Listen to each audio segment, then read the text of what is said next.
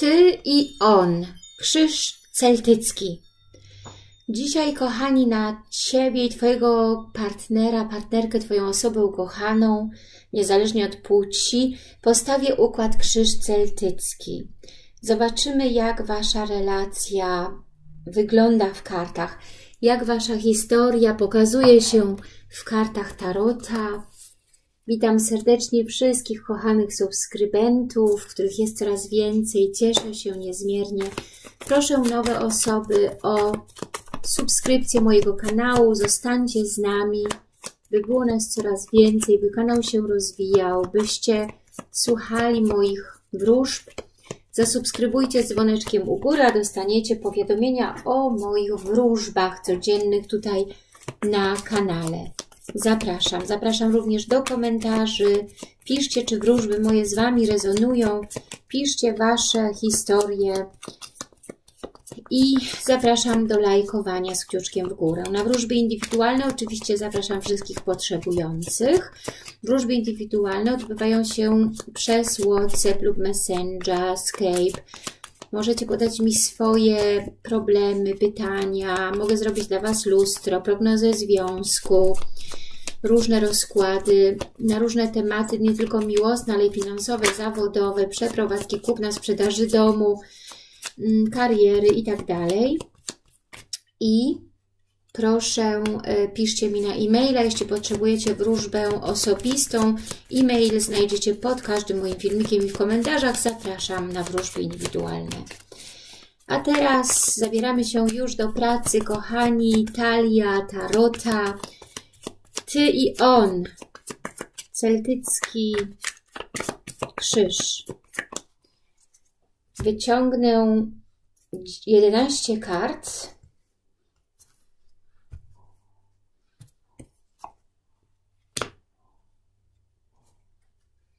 druga, trzecia, czwarta, piąta, szósta,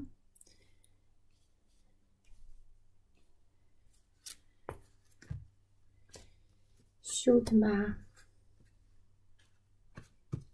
ósma, dziewiąta, dziesiąta,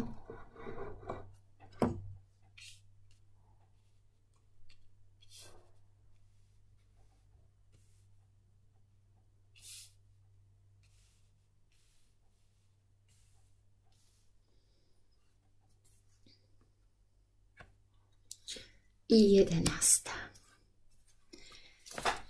Dobrze, w przełożeniu już widzimy, kochani, dziewięć monet.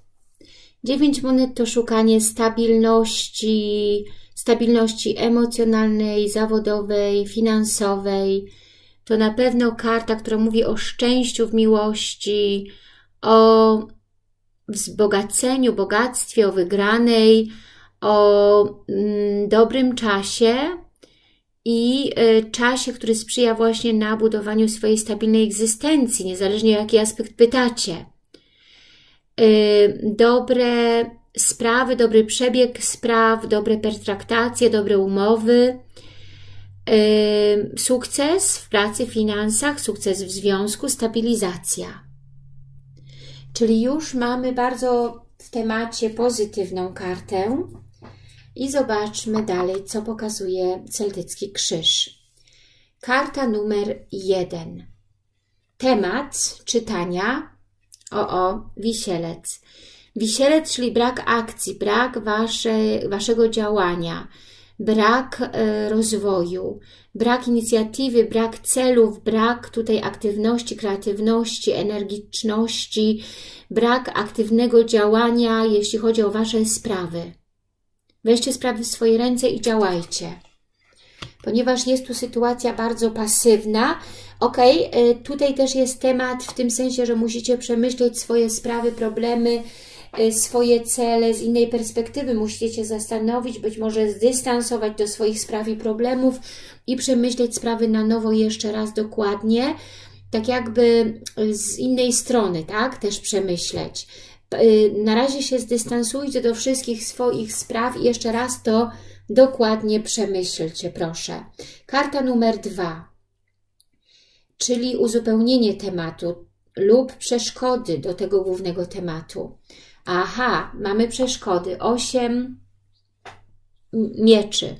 Osiem mieczy to blokady, które macie przed działaniem, lęki, wręcz jakiś taki paraliż, stoicie pasywnie, myślicie, nie chcecie nic widzieć, nie chcecie nic słyszeć, nie chcecie żadnych problemów, natomiast brak Wam działania. Zastanawiacie się, myślicie, co macie robić, odcinacie stare sprawy, które Wam nie służą, ale nie podążacie w kierunku nowym. Stoicie, jakby się boicie wykonać w ogóle jakiegoś ruchu. Ręce macie związane, nogi stoją statycznie, czyli brakuje absolutnie tutaj energiczności, kreatywności, działania. Jest tutaj zupełnie stan zablokowany, stan lęków, stan blokad, stan yy, po prostu bezwładności jakby w działaniu. I to trzeba zmienić, kochani. Te lęki, z tych blokad, z tych lęków ogromnych musicie wyjść, ponieważ one paraliżują Wasz rozwój. I rozwój być może Waszej kariery, Waszych finansów, Waszego związku. Numer trzy. Rada, co należy teraz w takiej sytuacji zrobić. Rycerz monet. No tak, rycerz monet mówi o tym, żeby wziąć sprawy w swoje ręce, tak jak ten rycerz wziął monety w swoje ręce, wsiąść na rumaka i działać, i walczyć. Walczyć o swoje cele, odważnie, stanowczo, czyli wejść ze stanu y, statycznego, pasywnego w akcję. Rycerz jest waleczny, walczy o swoje. I tutaj z tą y, monetą w ręku, tak, chce zacząć coś nowego, chce zacząć nową fazę. Tutaj czyli walczy o, co, o swoją egzystencję, tak? Zaczyna nowy początek walki o egzystencję i do tego musi mieć oczywiście bardzo dużo aktywności, zacięcia, ambicji, dużo cierpliwości i musi być również pracowity, musi być, musi walczyć o stabilne, e, stabilny rozwój spraw, tak? O y, gruntowne jakby y, przemyślanie, działanie do celu, tak?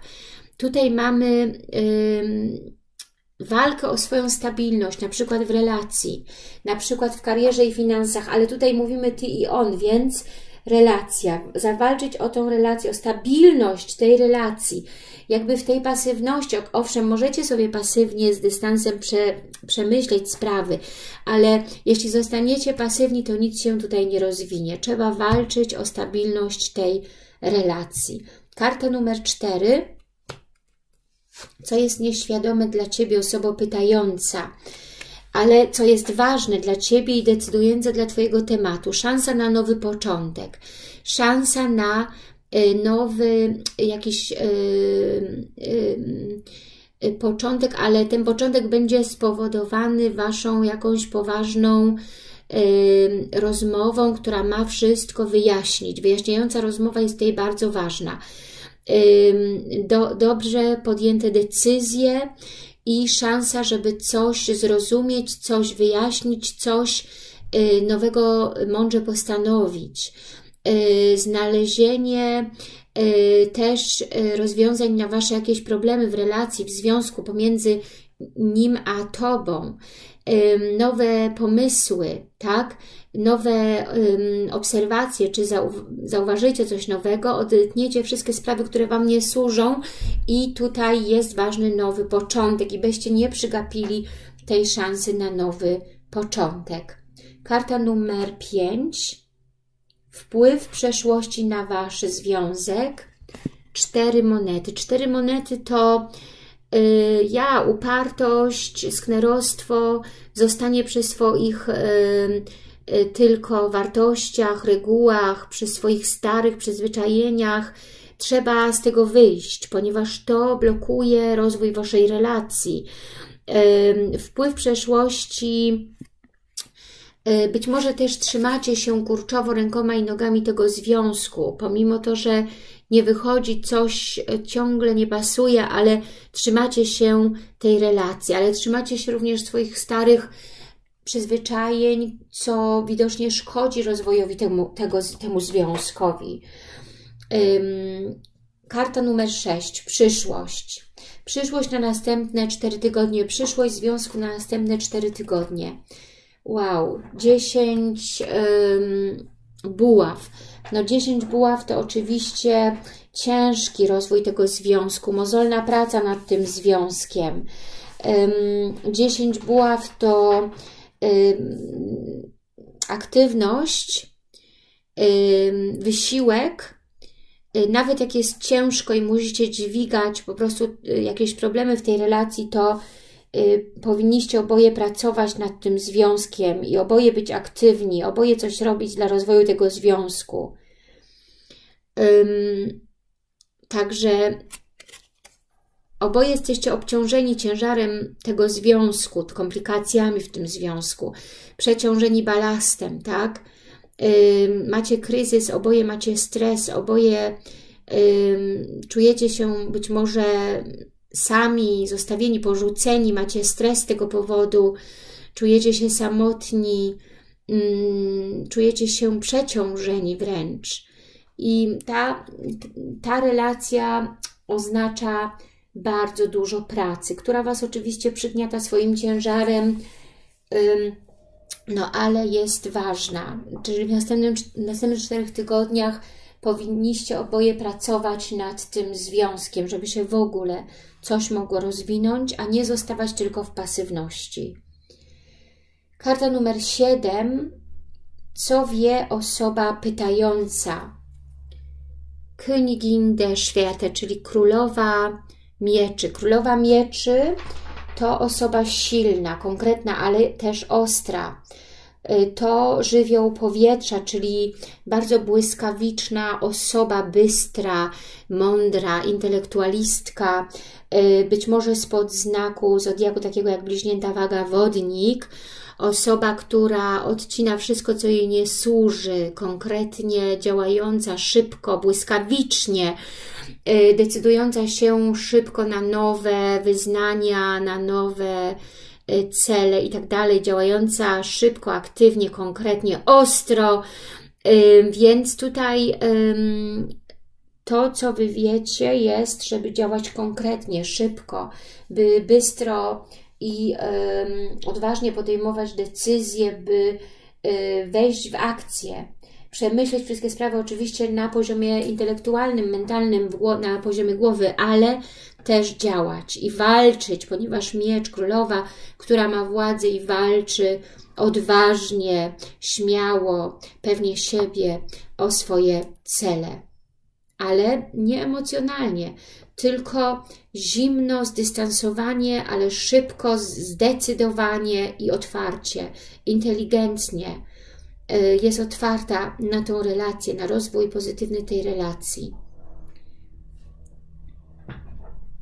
Karta numer 8. Jak widzą ten temat i Waszą relację inne osoby?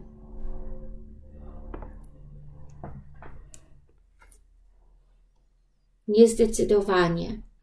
Czyli inne osoby wokół Was widzą, że jest to niekonkretna relacja, gdzie nie możecie się oboje zdecydować, nie ma tutaj konkretnej decyzji o byciu razem, o rozwoju, nie ma planów, nie ma jakichś zamiarów. Jest po prostu mm, marzenia, iluzje, wspominanie, ale bez konkretnego jakby tutaj planu na przyszłość bez konkretnych decyzji na przyszłość. Karta numer 9. Oczekiwania osoby pytającej, jakie macie lęki, jakie macie nadzieje, jeśli chodzi o niego i ciebie. Dziewięć buław. Dziewięć buław to lęk. W dosłownym tego słowa, znaczeniu, słowa znaczeniu to lęk przed cierpieniem, przed tym, że ciebie ktoś zrani, przed tym, y, że będziesz znowu emocjonalnie cierpiała, y, to sceptyczność, czyli sceptyzm. Jesteś sceptyczna. Nie wierzysz w to, że cię uda, że ten związek się dobrze rozwinie, masz negatywne myśli. Czujesz się zagrożona przez ten związek wręcz. I jakby odpychasz ten związek, yy, bronisz się, by ta osoba ukochana znowu Ciebie jakoś nie zraniła, nie dotknęła. Nie możesz się, jakby nie możesz na luzie uwierzyć, zaufać tej osobie. Nie możesz na nią liczyć. Masz lęk. Lęk oznacza właśnie ta karta.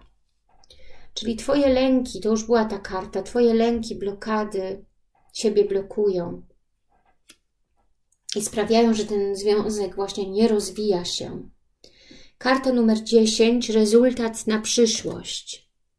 Dziewięć kielichów.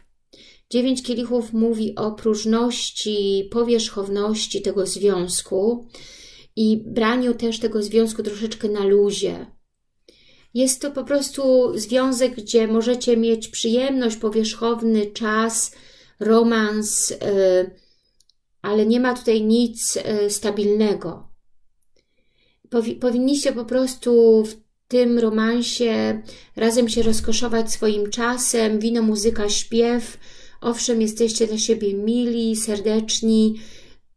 To oznacza szczęście w miłości, ale y, tutaj jest też taka jakby taka, taka próżność, Y, taka, taka, taka rozrzutność, próżność, jakby tutaj jest taka faza po prostu tylko jakby dobrego samopoczucia, kiedy jesteście razem, zadowolenia, yy, po prostu delektować się sobą, tym momentem, romantycznością czy aferą, ale brakuje tutaj jeszcze stabilności. Dla stabilnego właśnie związku brakuje tutaj jeszcze jakby powa powagi tak, w tym wszystkim. Karta jedenasta, która mówi o czasie rozwoju tutaj, ewentualnie tego związku. Dziesięć mieczy. Dziesięć mieczy może nawet mówić o końcu tego związku. W dziesięć godzin. Dziesięć godzin w jeden dzień może oznaczać to nawet koniec tego związku, koniec tej relacji, e, ból z tego względu, rozczarowanie, przygniecenie tym ciężarem, tym smutkiem, rozczarowaniem, rozżaleniem. To oznacza może zablokowanie kogoś, ale mówiliśmy tylko tutaj o czasie. Czas, która wskazuje ta karta jest 10 godzin. Ale też Wymowa tej karty to zmęczenie tym związkiem, przygniecenie, balast, rozczarowanie, smutek, depresja, ból. Dziękuję serdecznie. Taka wróżba była na dzisiaj. Zapraszam Państwa na następne czytania i do usłyszenia już wkrótce.